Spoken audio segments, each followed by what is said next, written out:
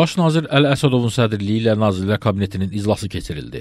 İclasda prezident İlham Əliyevin sədrliyi ilə 2020-ci ilin yekunlarına həsr olunmuş müşavirədə dövlət başçısı tərəfindən verilən tapşırıqların icrası və qarşıda duran vəzifələr müzakirə edildi. Baş nazir Əli Əsədov dedi ki, 2020-ci il Azərbaycan Respublikasının şanlı dövlətçilik və müstəqillik tarixinə prezident Ali Baş Komandan İlham Əliyevin rəhbərliyi ilə ölkəmizin ərazi bütövlüyünün bərpa edilməsi, Ermənistan üzərində qazanılan parlaq hərbi siyasi qələbəlik kimi yaddaşlarda qalacaq.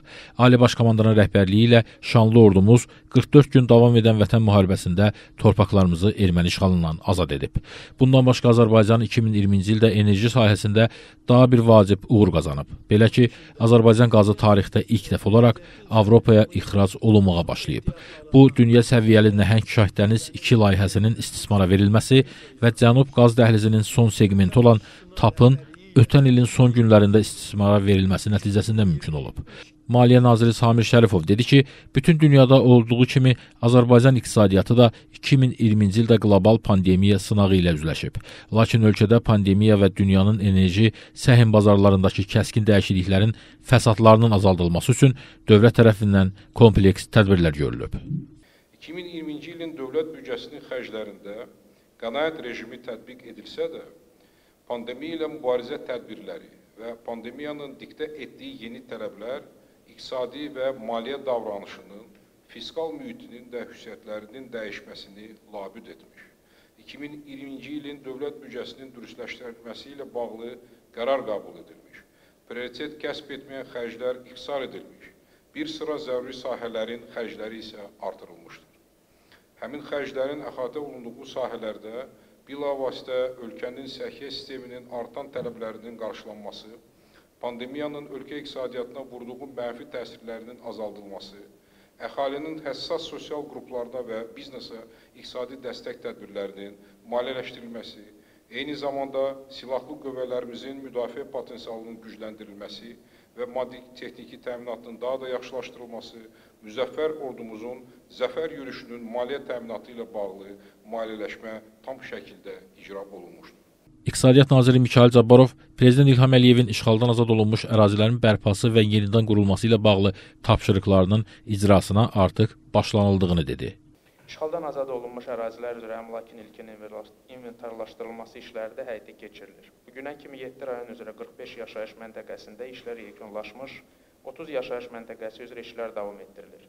132 yaşayış məntəqəsinin tamamilə dağıdılıb yararsız hala gətirildiyi müəyyən edilmişdir. 17 yanvar 2021-ci il tarixinə Cəbrayıl, Füzuli, Qubadlı, Zəngilan, Ağdam, Xocavənd və Tərtər, Suqovuşan qəsəbəsi rayonları üzrə cəmi 4083 əmlak çöl inventarlaşdırılma işləri tamamlanmışdır. Əmək və Əhalinin Sosial Müdafiəsi naziri Sahil Babayev məlumat verdi ki, Prezident İlham Əliyevin Azərbaycan Respublikasının ərazi bütövlüyünün, müstəqilliyinin və konstitusiya quruluşunun müdafiəsi ilə əlaqədar əlilliyi müəyyən edilmiş şəxslərin və şəhid ailələrinin sosial məişət şəraitinin yaxşılaşdırılması ilə bağlı bir sıra tədbirlər haqqında sərəncamı sürətlə icra ediləcək. Proqram çox genişdir, çox əhatəlidir və bu məqsədlər üçün ölkə başçısının tapşırığına uyğun olaraq məcburi köçkünlərimiz üçün tikilən evlər, mənzillər bu proqrama yönəldiləcək yönəldiləcəkdir. Ona görə də çox sürətli şəkildə bu proqram icra olunacaqdır. İclasa yekun vuran baş nazir Əli Əsədov bildirdi ki, Prezident İlham Əliyevin tapşırığına uyğun olaraq işğaldan azad edilmiş ərazilər üzrə strateji fəaliyyət planı hazırlanır. Plan çərçivəsində bütün ərazilərin və şəhərlərin bərpası vahid konsepsiya əsasında həyata keçiriləcək. İşğaldan azad edilmiş ərazilərin bərpası zamanı hər bir iqtisadi rayonun təbii iqlim şəraiti və profili nəzərə alınmalıdır.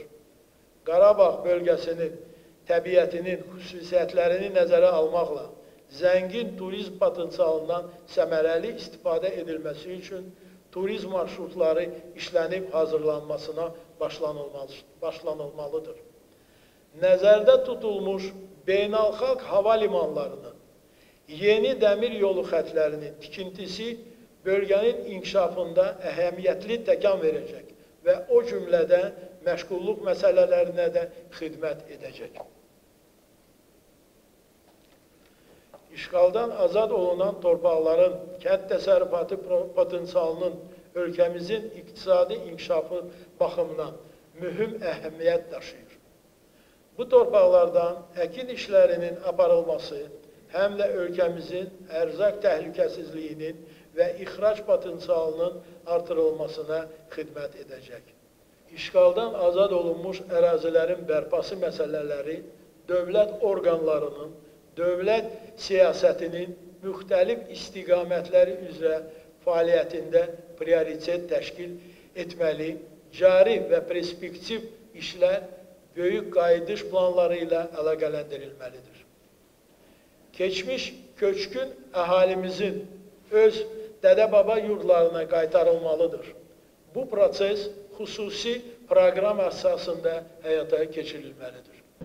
Baş nazir qeyd etdi ki, 2021-ci ildə dünya ədəbiyyatının görkəmli nümayəndəsi, dahi Azərbaycan şairi və mütəfəkkiri Nizami Gəncəvinin anadan olmasının 880 illiyi tamam olur və prezident 2021-ci ilin Azərbaycan Respublikasında Nizami Gəncəvi ili elan edilməsi ilə bağlı sərəncam imzalayıb. Hökumət başçısı Mədəniyyət Nazirliyinə Nizami Gəncəvi ili ilə bağlı tədbirlər planının hazırlanıb həyata keçirilməsi istiqamətində müvafiq işlər görməyə tapşırdı.